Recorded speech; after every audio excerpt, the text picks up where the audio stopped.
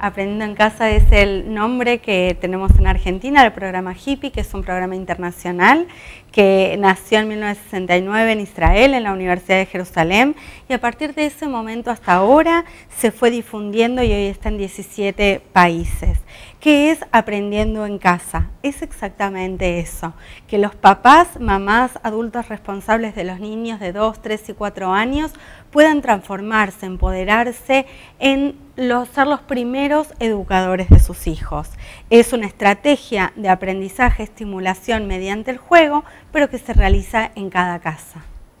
Bueno, hace dos años me contaron que están en, Misiones. Exactamente. ¿Cómo, ¿Cómo, es ese, trabajo acá en la provincia? Bien. Eh, este programa que ya tiene 50 años, cumplió, viene de Israel, eh, aquí en, la provincia de Misiones lo estamos llevando por segundo año consecutivo eh, y básicamente se realizan en distintos barrios de la ciudad de Posadas, de barrios sobre todo carenciados, digamos, de zonas vulnerables. Entre esos tenemos 405 niños y niñas de 2 a 4 años que junto a sus padres desarrollan este programa, que son el barrio Parcadam, barrio Belén, Tacuaritas, Primero de Abril, Porvenir 2, San Jorge, San Lorenzo, la zona de Miguel Lanús y tenemos todo un equipo que eh, asisten a la guardería de Yacyretá, que es el espacio de primera infancia número 4. Eh, básicamente tenemos un equipo de 27 tutores, conformado por profesionales, por líderes barriales, por madres que han sido hippie y con la novedad de que Misiones es una de las pocas ciudades del país que cuenta con tutores varones. Así que ellos lo que hacen es durante 30 semanas instruir a los padres con un libro de cuentos y un cuadernillo a tal fin para que ellos puedan bajar eso que aprenden a sus hijos. Y estos cuadernillos y estos materiales incluyen distintas disciplinas porque lo que busca Hippie en definitiva es que esta porción de primera infancia de 2 a 4 años pueda tener un ingreso escolar exitoso llegado el momento de asistir a la sala de 4 años. ¿Qué busca, o sea, qué, objetivos, aparte de los mencionados, eh, tiene el programa? Eh, los objetivos en primera instancia es el empoderamiento de los adultos responsables de esos niños como modelos familiares y recuperar esta función de los primeros educadores de los niños. En segunda instancia, aumentar, generar, proponer, eh, promover la vinculación entre padres y niños. Nosotros empezamos con una sugerencia de 30 minutos diarios para realizar el cuadernillo semanal y lo que estamos viendo en las provincias es que ya ha llegado a más de dos horas diarias. Eh, también es la unión del grupo familiar eh, y por otro lado el desarrollo de capacidades tanto de lenguaje, cognitivas, motrices en los niños que nosotros sabemos que si en esa franja etaria no reciben una adecuada estimulación, luego es mucho más difícil este, que pueda suceder. Entonces, Hippie lo que promueve es la unión familiar, la estimulación temprana de los niños y, como acaba de decir Lucas, una, inserción escolar exitosa. estos dos años que Hippie está instalado en Misiones, ¿Qué cambios notaron en esos chicos y en, la familia en general? En primer lugar, lo que hemos notado es que han recuperado vínculos, porque la mayoría de la población objetivo con la que trabajamos, eh, muchos, muchas, muchas casas de ellas que, son de barrios vulnerables de aquí en Posada, están liderados por madres solteras. Entonces la mayoría de esas madres han vuelto a recuperar el vínculo porque la mayoría de esos chiquitos eh, están al cuidado de sus abuelos. La otra es que han vuelto a la escuela las madres, que es un dato bastante alentador. ¿Por qué? Porque como ellas tienen que estudiar el material que se le brinda para que puedan explicar a sus hijos, eh, y nosotros tenemos, según las estadísticas, un promedio de 4 a 5 integrantes por niño en su grupo familiar, entonces muchas de ellas se quedan durante la noche estudiando este material para poder al otro día brindarle la, la educación a sus hijos. Eso llevó y les motivó a que puedan comenzar a terminar, por ejemplo, la primaria y la secundaria de adultos. Después otra de las cosas que vimos es, sobre todo en aquellos egresados, que ahora inclusive hemos despedido a 70 chicos eh, que han egresado, el año pasado egresaron un poco más, es que nos han llamado de sus escuelas, de sus salitas de cuatro años, para que les expliquemos qué metodología hemos utilizado con Hippie. Porque el desenvolvimiento académico o escolar o evolutivo, si se quiere, dentro del aula de los chicos que hoy participan del programa Hippie es muy superior a sus compañeros del aula. ¿sí?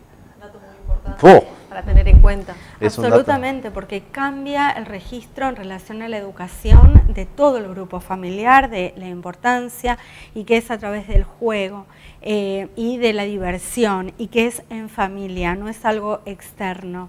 Es importante decir, perdón Lucas, que este, esta posibilidad de ir a seis provincias en estos dos años fue gracias a un convenio que hicimos con el Ministerio de, Desarrollo de Nación, con CENAF, Secretaría de Niñez, Niñas, Niñas, Adolescencia y Familia, y también con las organizaciones de base en cada provincia, que aquí llegamos a través de la organización Conciencia y en territorio con, la, con FUDA, Fundación de Desarrollo Agropecuario.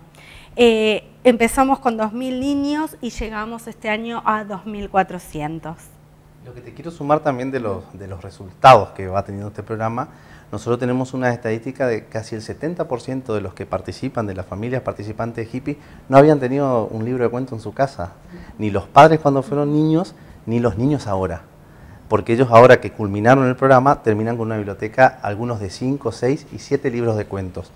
Y eso llevó a que las viviendas de, vuelvo a insistir en la zona donde trabajamos, que son zonas vulnerables, muchos casas rancho inclusive, han logrado reordenar su casa porque han destinado un espacio para que ellos puedan hacer hippie. Entonces vos ves que hay padres que hicieron bibliotecas para los chicos, hay padres que han hecho unas casitas para poder volver de trabajo y leerle el cuento a los chicos, y han reordenado su, su, vida interna, si se quiere, para poder llegar a tener ese tiempo de, de, hippie en la casa, que no es más que aprender jugando, que es un poco lo que te decía Cori, que arrancamos con 30 minutos y hoy con las estadísticas que tenemos ya están destinando dos horas diarias al, aprendizaje de hippie Eso en la del tiempo por ahí es muy importante porque como me comentabas son familias doleros y tanto los padres están todo el día fuera de la casa y el volver y dedicarle de 30 a 2 horas a los hijos es un avance muy importante. No solo es un avance, sino que le permite conocer a sus hijos. Fíjate que te estamos contando datos que parecerían que tendría que ser algo simple y no lo es. Y hoy se dan cuenta madres y padres, sobre todo porque debo destacar que este año hubo una participación mucho mayor de los papás, y eso es importante, sobre todo eh, la franja que ellos trabajan con sus hijos es a partir de las 6 de la tarde, que es justamente cuando vuelven de trabajar, eh, y vemos que hay una mayor participación de ellos y un mayor compromiso en este trabajo. Hay indicadores de los cambios, tanto en lenguaje, motricidad, cognición, etcétera, aumento de vocabulario, con este, investigaciones que se han hecho en universidades de todo el mundo y acá implementamos un test para poder medir la, evolución y el avance de los niños. O sea que datos duros hay y dentro de los datos blancos unas eh, experiencias que cada familia puede contar diciendo no sabía que a mi hijo de 2, 3 años tenía que decirle cómo es su apellido o eh, ahora saben las figuras geométricas, los colores, los números, o eh, yo no podía leerles porque nunca me habían leído, o ahora mi nena no quiere que lave los platos porque me pide, mamá, mamá, vamos a estudiar. Papás que decían, yo no sabía ser papá, y no sabía que ser papá era más que retarlos o decirles lo que tenían que hacer. Y ahora a través de hippie aprendo siendo abuelo cómo poderme vincular con mis nietos. Lo que no hice con mis hijos, esto lo acabo de escuchar recién en los barrios, ahora lo puedo hacer con mis nietos. Hippie realmente cambia las cadenas de repetición familiar. Y aparte acá lo, que se busca, porque trabajamos con la primera infancia, son espacios donde, en barrios donde quizás no, no están escolarizados tampoco. Acá no se busca suplir nada del sistema educativo, sino potenciar y estimular a la primera, a la primera infancia para su ingreso exitoso al sistema educativo. Y acá también descubrimos que los padres descubren las potencialidades de sus hijos. Descubren que al hijo le gusta pintar, descubren que al hijo le gusta cantar, descubren que sus hijos dibujaban muy bien, ¿sí? y empiezan a encontrar a sus hijos en el día a día que por ahí con la vorágine diaria que tienen eh, no lo podían advertir. Y es porque se detuvieron hoy dos horas diarias a mirar qué puede hacer su hijo. Y aparte debo destacar que hay un compromiso de los chicos también, de 2, 3 y 4 años, porque ellos reciben una bolsa con todos sus materiales, insumos de librería de primera calidad, sus cuadernillos y sus libros de cuento, y ellos son los que generan esa motivación dentro de la casa para que se haga la actividad.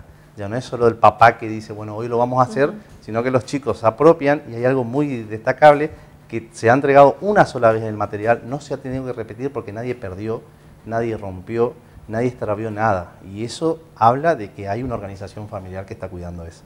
Hay un sentido también de, compromiso desde toda la familia, ¿no? Desde todas las familias, porque empezando, porque el equipo de tutores, que son quienes llevan los cuadernillos y los libros de cuentos cada semana a los hogares, es gente de territorio.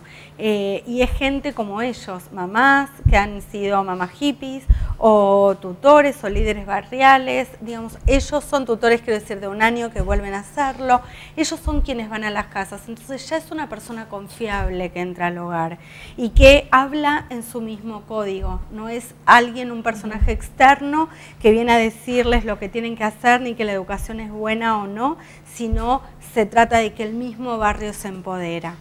Hoy estamos cerrando aquí en Misiones en Posadas ya el segundo ciclo de hippie eh, nacional y bueno, queremos contar también con más este, alianzas, con más socios para poderlo seguir haciendo. El objetivo un poco es eh, que el programa se quede en Misiones, ¿sí? son, como decía Corina, 17 países a nivel mundial que desarrollan esto, algunos países como Australia, tienen este programa lo llevan como política de Estado en el sistema educativo eh, y la idea es que se quede. Por lo pronto estamos en Posadas, la idea es potenciarlo esta tercera etapa, por eso también aprovechamos estos medios de comunicación para, para hacer un llamado a aquellos que puedan apadrinar este proyecto.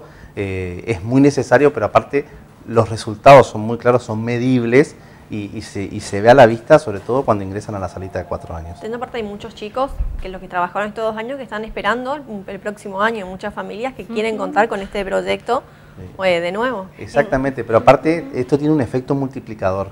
Nosotros Posada lo hemos dividido en cinco zonas estratégicas, sobre todo también para que puedan moverse los tutores aprovechando mejor el tiempo del día, porque esto se hace hasta las 5 o 6 de la tarde. Eh, y lo que vemos es que el efecto multiplicador no se da solo en el seno de la familia, sino que el chico de tres años o la nenita de cuatro años tiene también sus amigos del barrio.